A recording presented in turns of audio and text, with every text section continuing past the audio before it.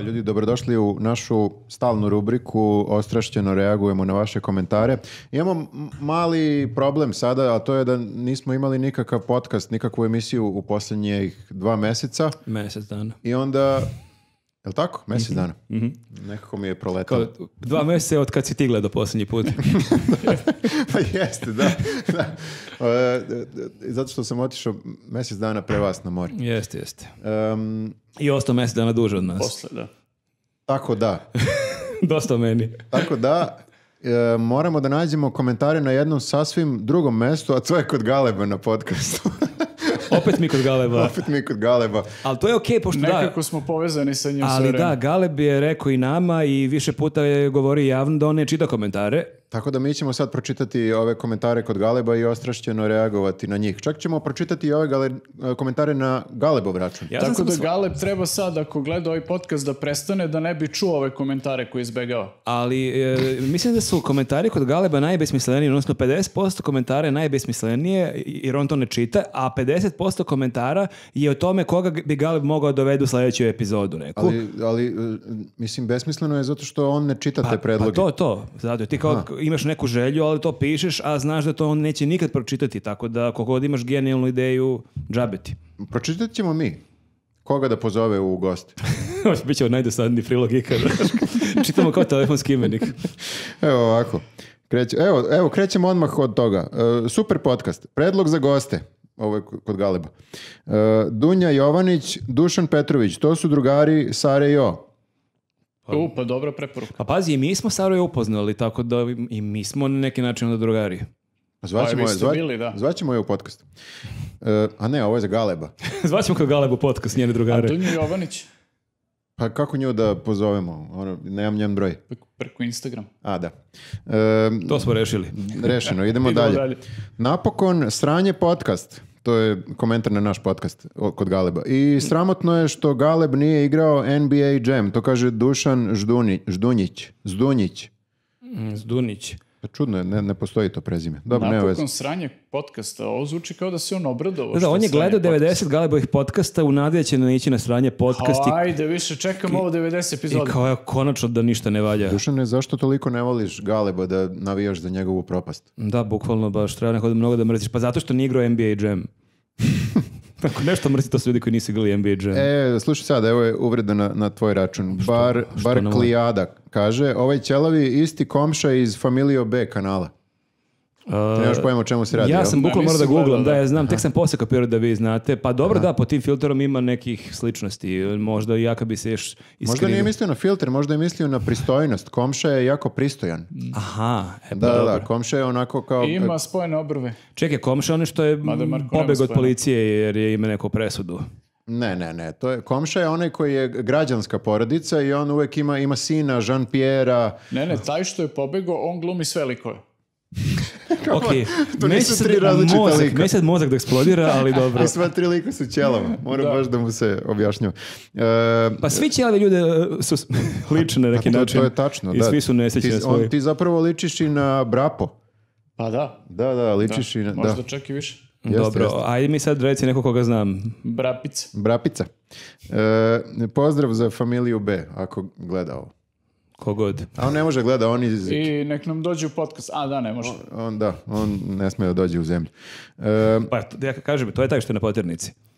a, na da, on njega misli misliš. Na, da, on misli na ovog koji glumi sve likove. Jest, Zato to je taj. da- Ličiš na njega. Super. Valjda neće da me uhapse na ulici. Ako toliko... Da, da, ako me vidi na ulici kao evo ga ovaj. E, slušaj, ovo je sad za, e, komentar upućen e, Galebu, jedan od mnogih, ali ajde, pročitat ću samo jedan ovaj. Što mi sad čitamo komentare upućene Galebu? Pa zato što nemamo drugi.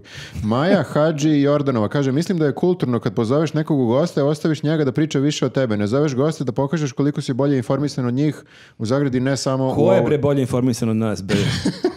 Ko Galeb? Ovo je u stvari Me zajebavaš. nas je uvredila na kraju. važi, ono. da, stvarno, Ja nisam bio, ali sam uvređen ko da sam bio. Bukvalno, znači... Ne, ovo za Galeba stalno dobija ove komentare i evo mi odgovaramo I u zato njegovo ih i ime. ne čita. Ja bih poludeo svaki podcast mi nego kaže ajde pusti malo gosta da priča. To smo rekli tamo. U podcastu je normalno da voditelj, da to nije novinar koji postavlja On pitanje, čak da on... nije ni, da, mislim, To je razgovor, to je kao, takva je forma, to nije da kao on nekog intervjuiše, tako da je normalno da on priča. Samo je Misliš pitanje, da se radi o tome ili su ovi ljudi koji ovo pišu rasisti? možda ima i toga. Kao ne želimo da samo crnac priča bilo šta. Da, da, pa moguće da je to, da si na tragu. idemo, Zaboravite ovaj komentar. idemo dalje. E, kaže ovako. E, i eha, nije, nije on voditelj, on je galeb. viš kao ptica je. Ne, nego ovo kaže kao nije normalno da voditelj A. priča, on je galeb u svom podcastu. Okej. Super branite Galeba, ajde nastavite slobodno.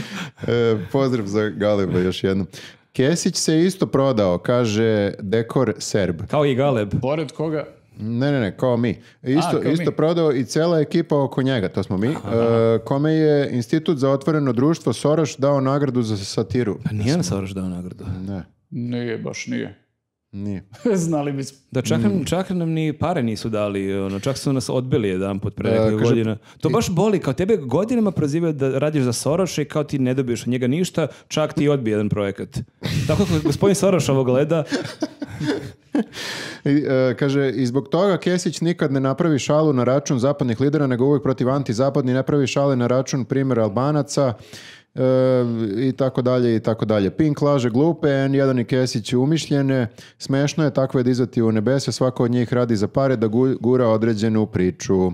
čovjek je sve razotkrio. E, Da, mislim da ovaj, možemo sad da mu otkrijemo jednu veliku tajnu. Svi rade za pare. Ali da li imaš neku agendu, Nenade? Agendu? Da, Da, dobijem pare. kao... s- s- e, nije, Agenda mi je da dobijem Nije pare. rekao agendu, izvini. Smešno je takve dizati u nebesa. Svako od njih radi za pare da gura određenu priču. A, kao agendu. Jel imaš, Aha, aha. guraš određenu... Je, pa ja ne znam, mislim, stvarno bi bilo super kad bi ljudi malo prisustvovali uh, pripremi naše emisije, da vide kako biramo teme i kako ih obrađujemo. Meni je super ta fama oko gostiju, kao a, nije slučajno što je baš ovaj, vidi se da njega neko gura, a mi ono bukvalno očajni sutra snimanje i čeki i znam beše, Ne, nekog sam neka najjače- video na N1, aj, I to, i kad kažu da nama ovaj, dovode bendove, da dođe neko i kaže nam ko će da nas svira u emisiji, kao da mi nemamo ništa s tim, kao ono, dolaze, dolaze, dolaze demo bendovi, bukvalno. Dovode, doveli su taj bend i Kesić je morao da ih sluša. Da. To, Da, je, da, to, mi je bio super. jedan od omiljenih Jes, e, jes, super, komentara. kao što ne dovedeš to i to je band, ali znam je da ti, pos- ti se posljednji Tebi pitaš. dovode bendove. Da, da, pošto da te dobro. bendove iz Bigza koji sviraju pred 150 ljudi, neki od njih baš onako velike Baš sile imaju lobiraju. lobby jako, ono, izvini. Da, mislim da Ja u Briselu i Vašingtonu U neku, kažu. ruku, neku ruku mi nekako malo imponuje da imam taj, neki taj oreol zaverenika, znaš, ja sad kao ra- imam neku agendu i radim protiv, znaš, svih. Jeste, A jeste. u stvari je dobro dok misli tako, ono, mislim... Znaš ono, znaš ono, Pentagon eh, preslušava demo bendove u Srbiji kao ove, ove sledeći. Zapravo je e, e, jednostavan razlog zašto nemamo tako često fore na račun, ne znam, ja, Amerike ili neke zapadne zemlje a, ili Evropske unije. Zato što Evropska unija je, e, brate, dosadna. Nema, Ali nije nema samo ništa to, se... mi, mi nemamo, nemamo- nemamo mi- fore ni na račun Rusije. To mi, sam teo da kažem, mi mislim, imamo fore na nemamo račun fore na- Rusije kada da. Putin dođe u Beograd, pa oko Da, toga je da. neki cirkus. Kad bi sutra došao Biden u Beograd ili da je Trump došao, imali bismo neke fore, ali nije došao. Ali vidi, znaš, kao Putin je lik. E, kad dođe neki iz Evropske unije koji ne znam ni ko bi mogao doći iz da neki zaslanik Europske unije, kao brate, koga Da, briga. da bi neko bio predmet uh, ono kao naše emisije mora da bude kao nešto, kao upečatljiv lik na neki način, da imaš sa čim Pa da, da, se neko zna kako ono. izgleda za početak. Za tebi početak dođe i neki birokrat iz Europske unije kao sad napravi kao foru. Šta kao da pričamo o njemu, mislim, to Tako bi bilo da eto, mi, mi, bismo, mi bismo voleli, ali jednostavno tu nema, nema materijala, moram da vam kažem. Evropska unija je baš gomila birokrata dosta. Pa da, ko neka banka, ne znam. Evo ovako, kao, ima li još nekog od nas sportskih tipova koji redovno ne mogu da se načude nivou Galebovog nepoznavanja sporta, kaže Fića Ludak. Uh, lud- Gde si Fića Ludak? Dobro, ja sam stvarno bio frapiran kad je me pitao, baš me tu zateko kao šta radi selektor. E pa to i Fića pita isto, kao Galebe kuću, redovno te gledam, ali šta radi selektor? Pa dobro, to je Pitanje. baš, ali Dobro, to je- potpuno genijalno, ali meni je super što sam ja bio s tobom kod Galeba, što kao jedina osoba koja je na nivou Galebovog nepoznavanja sporta si ti i onda je to bilo baš sjajno. Ja sam razumeo Galebovo pitanje šta radi selektor, moram ti kažem. U Ja- smislu, nije mi bilo toliko frapantno, jer selektor je, jest, ima mali neki veo misterije oko sebe, jer neki put je u trenerci, a neki put je u odelu. A jer ranije su imali cigare stalno. Pa, ali One- kapiraš što i ću ja ti sam kažem? volao te old school selektora 80-ih koji non stop ima pljugu. Ono. Ne, kao Ti vidiš si- patnju na, na njegovom Kad si pogledu. u trenerci, jasno mi je šta radiš. Kad si u odelu, onako. Zato Jeste. mi je selektor i meni, ja znači ti misliš sam. da trener nosi trener ko selektor odela? Pa čekaj, ime mu Trebalo kaže. bi da ima, da, trener, trener. Gospodin selektor. Ima logike. Ok, e, F- Fića Ludak je postavio ok pitanje, ajde ne možemo ni toliko da budemo ostrašćeni. E, da vidimo dalje, ima još ovih komentara zašto Galebe ne zoveš ovoga ili onoga, to je sve na Galebu, ne možemo mi da odgovaramo sad o tom. Jedve E, nazvao, brate. E, ima i ovo kao Galebe, zašto ne čitaš e, komentare, zar te ne zanima kao podcastera šta ljudi misle o tvojoj emisiji, kakvi se predlozi pišu, kakve kritike dobijaš. Ne zanima ga. Pa e, sa Galebom je to problem, sad odgovaramo u Galebovo ime. Ti si PR da On je predugo u medijima i on je načito se komentara i kao ne može, ne može više. to. Je, to, je, to je problem. A jeste problem kad dobiješ ovoliko komentare, ne možeš da ne možeš sve da pročitaš. E, čekaj da vidimo ovako dalje nešto što nije e, što nije već e, ponavljanje. Dva genijalca. To je novo. Ti Galeb. A to smo mi, valjda kao gosti. Jo, pa hvala puno, pa baš mi je ono super. Ja, se, ja mislim da smo mi. Ili smo ja i Galeb, možda nisi ti. da, Ne, to je mislim sad pitanje, neka pojasni u dodatnom komentaru. Kao što Galeb nije genijalac, ako smo mi genijalci je onda. mislio. Da, kao da li... Da Što li... mi je napisao tri genijalca? Mislim, šta mu bilo teško napiše dva genijalca, napiše tri genijalca. Pa neće napiše nešto što I ne dva misli. snimatelja su također Ovo je već genijalci. ostrašćeno. Pa, To takva sviđa. nam je rubrika, da. Dobro, ako, ako ovaj slučajno gleda, napiši da li misliš na belce ili na, na gale. E, mm. Aha, sad na boljim kamerama vidiš koliko je Viktor ostario. Ili ga ja suviše dugo pratim e, njegov rad. To kaže Avlijaner. Ja sve što dugo pratim na OnlyFansu. Ja ne znam, ovaj komentar me je zabrinuo, sam bio u fazonu, jesam ja stvarno ostario, mislim jesam. Kao, A ne, znaš što me je možeš da- zabrinulo? Da li, da li ok što ja nisam ostario ili što možda sam ja potpuno nebitan, možda ono, zabole za mene pa samo tebe gleda. Mm, Da, ovaj komentar me je e, zabrinuo, ali već sljedeći komentar kaže Sjajni Viktor, Srp, srpski knauz, knauzgor. To To si ti ostavio posle. Da, to sam ja. Pod pseudonimom Sljedeći komentar. Klinte E, a a, Mestra vidio, on a a good posle u nastavku kaže da sam ja možda ok lik, ne, nemam pojma, tako? To je taj A, komentar. jeste, Dražić je možda ok momak, ne znam. Galebe, samo napred. Ja mislim to nije, nije fair komentar zato što sam ja pročitao Više- pet više delova. Knausgora od sam mene, sigurno. Ja sam samo jedan. Samo posljednji deo nisam pročitao, odmah sam kupio, ali sam pet knjiga pročitao, ti nisi pročitao, jednu si pročitao. E, jedan sam pročitao, ali na norveškom. To je kao dve na srpskom. Da, ajde, ajde tako da kažem. Ajde, računam. E, da vidimo dalje. E, ovo je pesma, čovjek je poslao pesmu. Jeste spremni za ovo? Jean-Baptiste Grenouille kaže, ako mu je to pravo ime, slušam ovo na poslu dok šijem u nekoj fabrici u Crnoj Gori. U jedinoj fabrici u Crnoj Gori u kojoj se šije. Smijem se. Galebe divan si. Va- ovo su sve stihovi. Vas dvojica ste rekreirali Kesića. On je prije vas bio baš BZV. E, ove stvari rade tbok, evo deci, ovo sad već nije pesma, ovo je sad, o, u početku je bila pesma. E, ove stvari rade uh, The Books of knjige, evo decenijima i konačno im neko kao prilazi. Nije to još to, ali na dobrom ste putu. Kralj nije pao, živio kralj. Upravo Eto. si nas na kraju. Ljudi, ljudi iz Crne Gore ipak, prat- Ipak neko je gotiv iz Crne ipak Gore. neko gotivi njuz iz, iz Crne Gore. Dobro je, okej. Ali on baš e, ne radi baš e, jako u toj fabrici ako piše toliko pesmu dok je u fabrici. Da mora da smišlja rime. Nije stvari rekao koje bilo. fabrici radi. Manje interneta, više šivenja. Dobro. E, Koja je ta fabrika koja šije u Crnoj Gori?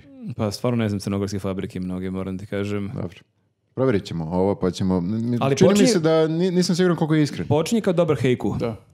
Možda kucamo na Google jedinac. E, ja sjećam kad smo kod pesama, pošto i ta pesma nema rime. Sjećate kad je kod nas, kod Kesića u emisiji, kad nas je Kesića bila Radmila Petrović i pročitala je pesmu i tu su opet krenuli ludački komentari, jer spominje nešto Kosovo u jednom stihu, ali, Ljudi ne vole pesnike. ali su bili sjajni komentari što ljudi mrtvi ozbiljni pišu da to nije poezija jer nema rime. Ako je nema rime, onda je proza, onda je priča, Da, to nije to je- pesma. Da, jeste, jeste, to Ako- je da. baš bilo ovaj, simpatično. Poezija je čorba. Pa Zna se, prvi, drugi stih ili prvi, Da. treći se rimuju. Kako, šta je to je ovo? to. Prvi i treći i drugi i četvrti, Četvrti, to je najbolje, ti te pesma tad. Tak ide, tak ide. Ti zaboraviš onu reč i onda se setiš kao wow, pa to se rimuje sad. To je redko ko ume u današnje vreme.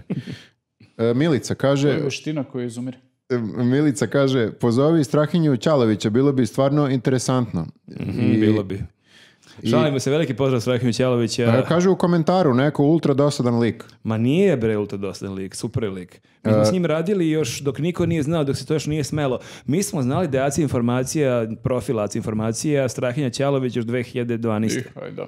Kaže, ovaj čovjek isti, kaže, lik je energetski vampir.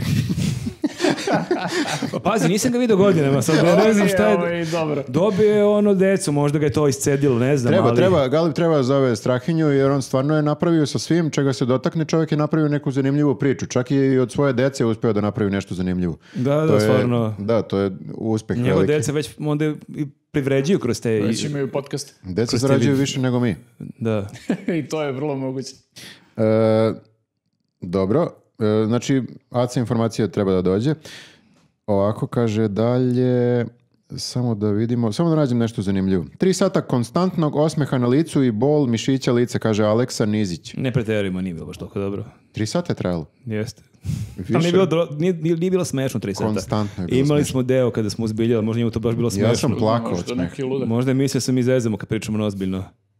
E, a misliš da je Možda, je- sarkastičan? možda je gledao naduvan. Sad Pa smo je isti čovjek. Pa je ostrašćeno reagujemo, šta sad? E, Bojan Brankov kaže, imam istu majicu kao Viktor i pozdrav za, za Bojana i možete da kupite news majice A koje možda niko ima, od nas možda nema ima istu danas. majicu i kao i ti ovo, možda, možda je- imate sve majice iste. Nemoguće da neko ima crnu majicu. Možete prati po gradu i gledaš šta kupuješ i onda kupuje on. E, podsjećamo samo ljudi da kupe news majice i dalje ih ima u prodaji. Neverovatno nismo sve prodali. Mhm. I ako vam nešto treba u septembru i oktobru, to su majice na kratke rukave. Znaš šta sam provalio? Majice se nose u svakom godišnjem dobu. Da, ako imaš duks, možda ga raskopčiš i da se pokaže majica. Čak i u septembru i bolje, jer ako ti se ne sviđa majica, preko nje nosiš duks. A i, I- dalje si kupio. I manje se znojiš, pa ti onda i lepša majica kad je na tebi. Tako da da, kupite news majice. Sad će da krene ta prodaja još više. stavit ćemo opis, stavit ćemo u opis videa ovaj link. E, aha, Alex Walker kaže, zašto Englezi voze desnom stranom? Ima neke veze sa zastavom Velike Britanije, sa belim dijagonalama, krst je crven.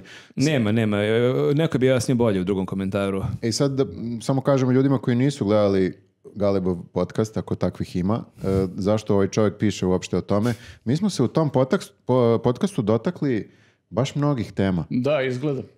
Previše tema. Čak Jedna- smo pričali o njuzu u nekom trenutku. ali baš malo. Ali smo pričali o tome da zašto Englezi voze levom stranom i nismo znali e, odgovor na to pitanje i onda je neko objasnio da je čitao u politikanom zabavniku da je to pravilo još iz vremena kad su ljudi jahali konje i kad su se borili kao vitezovi i da je onda bilo normalno jer ti je mač najčešće u desnoj ruci, nisu ljudi kao Nenad, većinom su desnoruci nisu, ne drže Da, mač ja u levoj. mač Ti mač i koplje držiš u levoj ruci, ali većina drži u desnoj i da zbog toga ideš levom stranom da bi mogao da zakolješ čoveka koji ti ide u susret. I samo Englezi su bili vitezovi. Samo smo mi kapirali mačevanje na konju. A čekaj, ta teorija pada u vodu, kao nik, nigde nije bilo, nik samo tu, kao kralj Artur i to, ha? Zato su oni pobeđivali mnogo jer su svi se ovako mačevali s, kontra strane, s kontra strane. I, ali to sam čuo još ranije. To je da dodatak na Da je teoriju, sviđa mi ista, isti razlog zašto one spiralne stepenice idu uvek u jednom smeru, baš zato što je te, e, logika da to je uglavnom u nekom, nekoj tvrđavi i u slučaju opsade ti se povlačiš na gore i ti Mhm. ideš mačem, povlačiš se, a ovaj te napad od ozdo i da te bude lakše da ga napadneš desnom rukom, sad pokazujem ko nas sluša, nije baš najjasnije, a da njemu bude otežano, da ima loš ugao da te ubode. A brati šta, ako sam ja jako hrabar i ne želim da se povlačim? Onda sam u problemu. ili šta Kad ako sam- jurišam niz Ili stepenica. Tako, se- tako se ja počeo levoruksom. Onda si u problemu. Ne, Kupio sam, ti- sam pogrešan zamak. Da, da, te levake odmah otpiši u borbi. da, moraš da kupiš stepenice za levoruku. Ali znaš što smo pričali kao imaš ono džezve za levoruke i Da. tako treba imaš ono tvrđeve i zamkove za levoruke. E, ovo je dobar komentar. Igi Vi kaže, Tebra jebote Patreon, više smaraš uvek na početku. I samo da po- podsjetimo ljude da nam Nije mogu da nas- početak, mogu da nas podrže na Patreonu. Dobro je, Igi, Igi nas je podsjetio. Znači, podržite nas I na Patreonu. to nismo rekli danas da svako ko nas podrži dobije svake nedelje jedan e, ekskluzivan video samo za ljude sa Patreona. Samo za Patreon G. Super je što nas je podsjetio Igi. A Galeb da, stvarno smara to na početku uvek. Čekaj da vidimo ovako. Em, super podcast, kaže Mir F13. Ne može, ne može mnogo da se komentariše. Hvala ovaj Galebu ime. Ma šta bre, super. E, e, zovi braću iz državnog posla, kaže Nemanja Trajković. Ok, zovi ih, Galebe. Dobri su likovi. E, e, vidi ovaj komentar sad. Sećate se onog komentara Viktor je ostario? Da? Bane Spasić kaže... Viktor nije ostario. Jel, kaže, jel vi, Viktor na botoksu? To samo, znači da sam mnogo mlad. samo si naduven. Ili, ili sam... si se probudio ili- pre podcasta pa si sad bio otečen. Možda je Pa to. si, pa i ti si se probudio pre podcasta. Pa ne znam, onda pa si na botoksu. Pa možda je to sad kad razmislim, možda ovo isto znači da sam star i da sam se botoksirao. Pa moguće da. Ah, ne, Možda ne, ne. se prodomači. A, Star si, ali si onako seks, sviđa mi- seksi star. Ne sviđa mi se ovo. Ne sviđa mi se ovo. Mislio sam da me čovjek pohvalio, a zapravo me i on usro. Em, Da, da je dodao posle toga, ali bi ga, ali bi ga odvalio. Tako botoksiranog. evo neko objašnjava Galebu šta je selektor. Ne, nećemo to da... Evo ovako, ovo je zanimljivo. Relja Reljić kaže, koš je visok 3 metra i 5 santima jer se na toj visini nalazio balkon gdje je bio okačen prvi obruč. To isto nije tačno. Pričali smo i o tome, samo da kažemo Jesam, ljudima. nisam baš svašta pričao kod Galeba, ali sam posle isto vidio dva, tri komentara gde objašnjavaju da nije stvar u tome, nego je kad se iz inača, inča prebaci u santimetre da ispane 3,05. A, u Tipa- inčima je ravno U inčima je tipa, ne znam, lupam, nije 10, 100, ne znam, neka... 10 ok- fi- fita. Nešto, Stopa. ne znam koliko, da, to kad se konvertuje, onda bude 3,05. E, dobro. Tako da a, laže čovjek u ko- ko- komentarima kod Galeba, lažem i ja. E, samo da vidimo ovako, da li ima još nešto e, zanimljivo. Em, neko daje, neko, e, e, ovaj, kako se zove, objašnjava Galebu pravila futbala.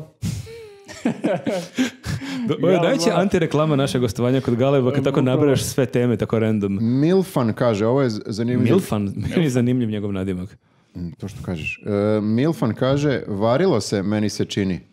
I zanimljivo je zato što je stvarno delovalo neke stvari što smo pričali kao da smo varili. Pa sad kad nabrajamo te teme, taj- te digresije, ono, da, baš deluje da nismo bili normalni, ali ne samo što se nije varilo, nego nije bila ni kap alkohola, Sve jer... to zvuči još gore sad kad kažeš jer smo skroz Skoro straight. smo normalno pričali o tome, da, a, zato što je Galeb e, prethodnog dana snimao e, i imao je gosta s kojim je popio dosta vina. Ako pogledate podcast, vidjet ćete koji je to gost. ako pogledate podcast pre nas, vidjet ćete koji je gost je u pitanju, tako da mislim da je on bio u fazonu, evo vam momci, evo vam kafa, evo vam voda i pričamo. E, ovako, neko se tebi obraća. Šta hoće? Jovo Vuković kaže, Dražo, E, pa to mi je ortak, da, da. Dražo, mili brate, objasni ljudima da mi lokalci u Kumboru pucamo na gol, kakvo šutiranje penala ili gađanje u vaterpolu. Samo da kažemo i, i o tome smo pričali, o vaterpolu. Jesmo, ja sam ispričao anegdotu kad sam bio u Kumboru, baš sam bio gost eh, mog drugara Jova, Jova zapravo, da nije Jove Jova. I da, izvinjavam se što sam rekao da se, moš- se penali šutiraju, oni pucaju na gol, tako da je stvarno, kad dođem sljedeći put u Kumbor i dalje ću pucati penale. Stvari, ne, ne kažu ni penale, samo pucaju na gol. E, Na- Nataša Nikolić e, ima pitanje za nas. Sjećam se pre par godina, Kesić je imao jedan fenomenalan deo o Tomi Nikoliću, izbjeglicama i mamutima. Znači da se varilo tad. Nikad se više nisam ismijala u životu. Milion puta sam pokušala da pronađem taj klip, ali nema šanse. Pretpostavljam da je u pitanju timski rad, ali voljela bih da saznam od koga je potekla ideja za stilsku igru Toma sa mamutima. Taj zaslužuje Nobela za humor. Ja moram da kažem Nataši da, evo, baš ako odgovaramo sad, ja mislim da je to samo Kesić. Ja nemam predstavu koji je do prilog, bukvalno. Moramo, moramo i mi da se vratimo malo da pretražimo, da, a, ajde, pro- probat ćemo da pronađemo pa da okačimo u, u komentaru, ali ja mislim da je to samo uh, Kesićevo. Ja se uopšte ne sjećam. Nešto mi je u glavi ko je prvi došao na ove prostore, da li mi, da li izbeglice, da li mamuti. Možda, To je onda baš staro ako to... Jeste, da. jeste, jeste. E, ovako, e, neko objašnjava opet za, za obruč. A, uvrede na Galebov račun, to nećemo.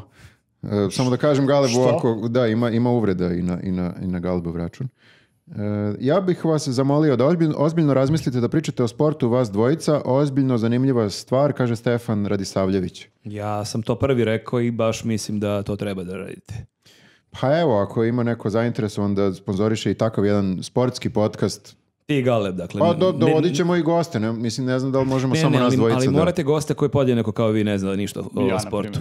Evo, Ne, ne, ne, ti, ti si ozbiljan, ozbiljan Čekaj, fanatik. pa koliko oni ne znaju, ja nisam preslušao to. Ne, ne, ne, ti ne znaš koliko ne znam. Mislim, za Viktora znaš koliko ne zna, Galeb još manje zna. Gospode. A već je problem što me ne interesuje. Galeb je komentarisao pet godina odbojku na pesku, ne zna pravila odbojke na pesku. Eto, toliko, ukratko, čisto toliko. mali teaser o čemu smo pričali. E, evo, e, mislim da sam onako e, probrao sve nekako zanimljivije komentare. E, jedan komentar kaže, to je naš komentar, dobar je ovaj news podcast, ali obratite pažnju i na Agelas podcast, jako je kvalitetan i ja bih time, to smo mi ostavili kao komentar. Jesmo. Imamo najviše lajkova. Strava, pokidali smo ovo.